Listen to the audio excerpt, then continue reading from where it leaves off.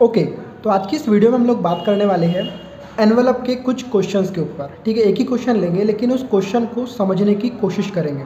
ठीक है, यहाँ तक हम लोग कैसे पहुँचे हैं, पहले मैं आपको समझा देता हूँ। ठीक है, हम लोगों ने स्टार्ट किया था एडवांस कैलकुलस एडवांस कैलकुलस में हम लोग पढ़ रहे हैं। ठीक है, क्या पढ़ रहे हैं हम लोग? एनवलप पढ़ रहे हैं। एनवलप में हम लोगों ने देखा one parameters family of curves क्या होता है। ठीक है फैमिली ऑफ़ कर्स क्या होता है?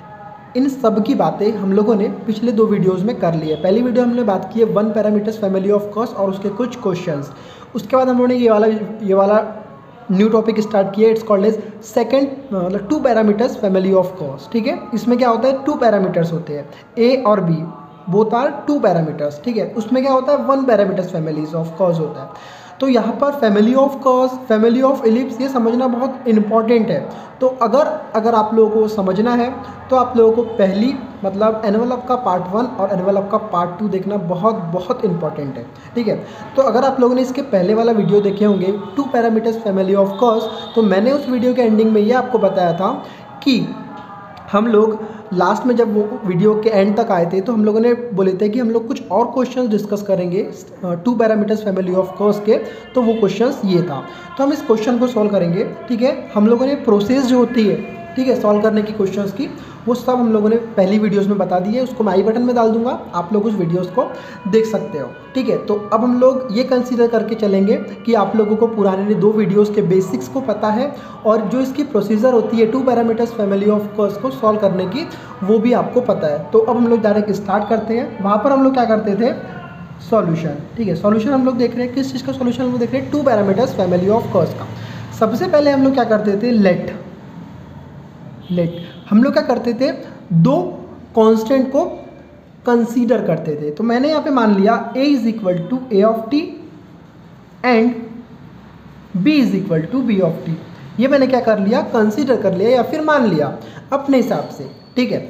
अब ये क्वेश्चन को समझ लेते हैं कि क्वेश्चन क्या बोल रहा है, वो तो हमने समझा ही नहीं। तो क्या बोलता है? Find the envelope of family हम लोगों ने इसके पहले वाले क्वेश्चन में कर्स के ऊपर बात किया था। लेकिन इस क्वेश्चन में हम लोग बात करेंगे इलिप्स के ऊपर। तो आपको यहाँ पे एक इलिप्स दिया हुआ है it's called as x square upon a square plus y square upon b square is equal to one और एक बात, ठीक है, मैंने आप लोगों को बताया था कि two parameters family of question family के जो क्वेश्चंस होते हैं, उसको हम लोग पहचानते कैसे हैं? तो बहुत इजी होता है, अगर कोई इक्वेशन या फिर फैमिली ऑफ़ कर्स में आपको दो पैरामीटर दिख रहे हैं, जैसे इस क्वेश्चन में आपको ए और बी टू पैरामीटर्स दिख रहे हैं तो it's called as the question of two parameters family of curves ठीक है? कनेक्टेड बाय रिलेशन तो ये क्वेश्चन बोलता है when two parameters a and b are connected by the relation ये एक रिलेशन से कनेक्ट है it's called as a plus b is equal to c और यहाँ पर सी क्या है?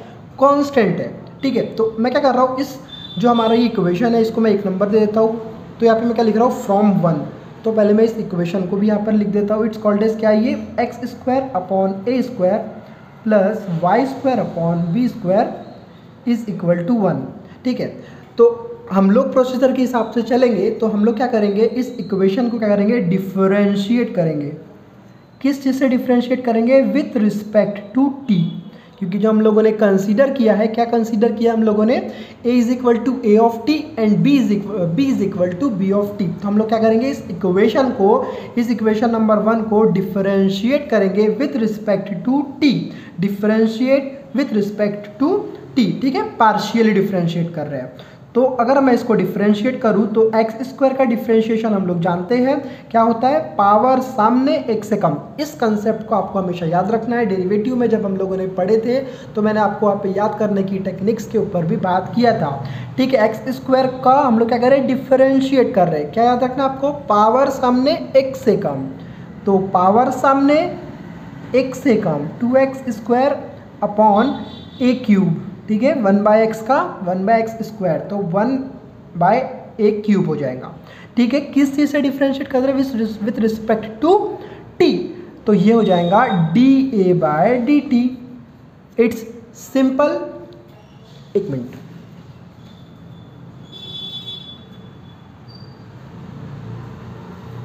ओके तो हम लोग आगे बढ़ते हैं। अब it's minus two x square upon a cube into d a by d t with respect to t कर रहे हैं। ठीक है? क्या हो जाएगा? माइनस ऑफ़ वाई स्क्वायर का हो जाएगा बेटा। Two y square upon b cube one by b square का one by b cube is equal to zero differentiate करेंगे कांस्टेंट का तो क्या आ जाएगा वो? ज़ीरो आ जाएगा। अब मैं क्या कर रहा हूँ? जो मैं इक्वेशन मैंने डिफ्रेंशिएट करके लिखा, उसको मैं थोड़ा रीअरेंज कर देता हूँ। तो मैं क्या करता हूँ? इस निगेटिव को मैं उधर लिया लेता हूँ। Is a two x square upon a cube d a by d t is equal to minus of two y square upon b cube d b by d t.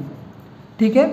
और मैं इसको क्या कर सकता हूँ? D a by d t मैं इसको लिख सकता हूँ एंड मैं इसको लिख सकता हूँ d a by d t plus d b by d t. D b by d t is equal to zero. तो मैं इसको क्या लिख सकता हूँ? ये हम लोग जानते हैं रिलेशंस है ना? हम लोगों ने पढ़े हैं बेसिक वाले वीडियो पर। और मैं इसको लिख सकता हूँ d a by d t is equal to ये उधर जाएगा तो क्या हो जाएगा? Minus of d b by d t ठीक है? हम लोग क्या करेंगे? डिवीज़न करेंगे बाय डिवीज़न ठीक है? अब आप लोग बोल रहे होंगे, सर, आप एकदम से क्या क्या कर रहे हो? हमको कुछ समझ में नहीं आ रहा। तो तब समझेंगे। जब आप आई बटन में क्लिक करोगे और उस वीडियो को देखोगे तो उस वीडियो में हम लोग ने बात की है प्रोसीजर के ऊपर कि two parameters family of curves के क्वेश्चंस को सॉल्व करते कैसे ये तो सेकंड क्वेश्चन है, ठीक है? वो क्वेश्चन आपको अगर देख के आ रहे हो तो बहुत अच्छी बात है। तो हम लोग क्या करेंगे बाय डिवीज़न करेंगे। तो जैसे हम लोग डिवीज़न करेंगे d a by d t तो ये हो जाएगा हमारा x square upon a cube x square upon a cube upon one is equal to क्या हो जाएगा? Y square upon b cube is equal to one मैं इसको लिख सकता हूँ ए क्यूब है बेटा तो मैं इसको लिख रहा हूँ x square upon a square a के आ गया? नीचे आ गया. Y square by b square लिख रहा हूँ, एक बी का आ गया, इसके नीचे आ गया. तो अगर मैं इसको प्लस करता हूँ बेटा तो ये हो जाएगा. ओके, आपको दिखा नहीं, थोड़ा ऊपर ले लेता हूँ. Okay. That's x square upon a square बेटा, यहाँ पे देखो क्या था? ए क्यूब था तो एक ए को मैंने क्या किया? नीचे लेके आ गया। ठीक है तो हम लोग अब आगे बढ़ेंगे। इसको मैं क्या कर रहा हूँ? प्लस कर रहा हूँ तो it's x square upon a square plus y square upon b square a a हो जाएगा बेटा। A plus b is equal to मैं इसको लिख सकता हूँ वन बाई सी यस लिख सकता हूँ। अब मैं क्या कर रहा हूँ? ध्यान से देखना है। इस x square upon a square को मैं लिख सकता हूँ वन। अब क्या कर रहा हूँ मैं? ए प्लस बी था तो मैं इसको रिवर्स कर रहा हूँ। तो मैं इस ए को ऊपर ले जा लेता हूँ तो ये ए क्यूब हो जाएगा। Is equal to one by c equal to है। एंड एक और बच गया, क्या बच गया? Y square upon b cube फिर से मैंने क्या किया? इस बी जो नीचे बी था, उसको ऊपर ले जा लिया। तो वो क्या हो गया? B square into b is b cube upon one is equal to one by c अब हम लोग क्या करेंगे? यहाँ पर हम लोग क्या करेंगे? हाँ हम लोग क्या कर रहे हैं? हम लोग फाइंड कर रहे हैं फैमिली ऑफ़ इलिप्स ठीक है? फैमिली ऑफ़ इलिप्स को। और फैमिली ऑफ़ इलिप्स क्या होता है? फैमिली ऑफ़ कर्स क्या होता है? ये सब की बातें हम लोगों ने बेसिक वीडियो में कर चुका है। जो फैमिली ऑफ़ कर्स होता है, वही फैमिली ऑफ़ इलिप्स होता है। यहाँ पर इलिप्स की बात कर रहे हैं बेटा, वहाँ पे कर्स की बात कर रहे थे। ठीक है ना?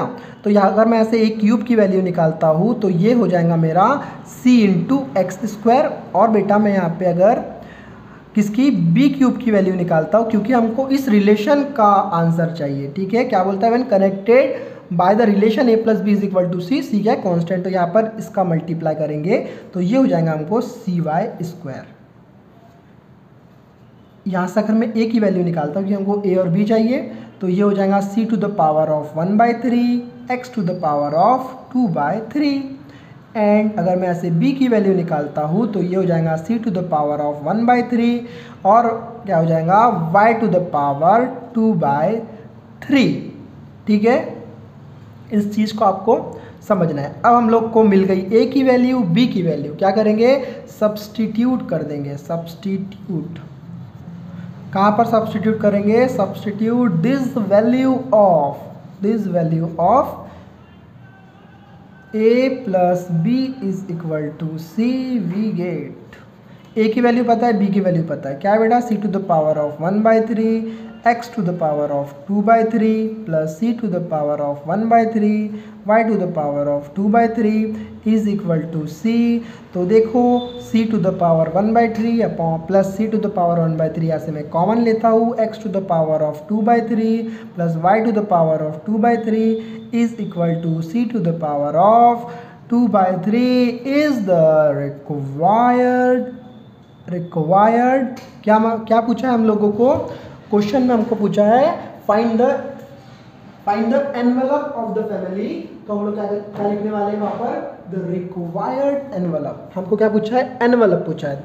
तो इज़ द रिक्वायर्ड एनवेलप तो ये क्वेश्चंस मैं आशा करता हूँ आप लोगों को पूरा समझ में आया होगा. एक और बार हम लोग क्विक रिवीजन लेते हैं.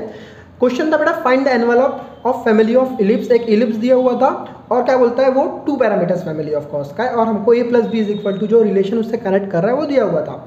हम लोगों ने तो by the procedure of two parameters family of curves लिए कंसिडर किए is equal to a of t b is equal to b of t उसको डिफरेंशिएट किए विद रिस्पेक्ट टू टी हमको कुछ मिला हम जानते थे d a by d t plus d by d t is equal to क्या होता है ज़ीरो होता है कुछ किए बाई डिवीज़न किए डिवीज़न के बाद हम लोग ने ए और बी की वैल्यू निकालेगी हमारा जो मेन मोटो था वो क्या था ए और बी की वैल्यू को फाइंड करना क्योंकि यहाँ पर कनेक्टेड बाई रिलेशन दिया हुआ था ए और बी की वैल्यू मिलने के बाद हम लोगों ने उसको क्या किए पुट किए किस पे a plus b is equal to c में और हमको क्या मिल गया required envelope of family of ellipse ठीक है? मतलब ये कि इस फैमिली ऑफ़ इलिप्स का जो एनवलप है, जो एनवलप होता है, क्या? उसके टेंजेंट से बनकर जो एनवलप बनता है, वो है हमारा x to the power of two by three plus y to the power two by three is equal to c to the power two by three मतलब इस फैमिली ऑफ़ इलिप्स का ये रिक्वायर्ड एनवलप है। तो इस तरीके से हम लोग एनवलप फाइंड आउट कर सकते हैं।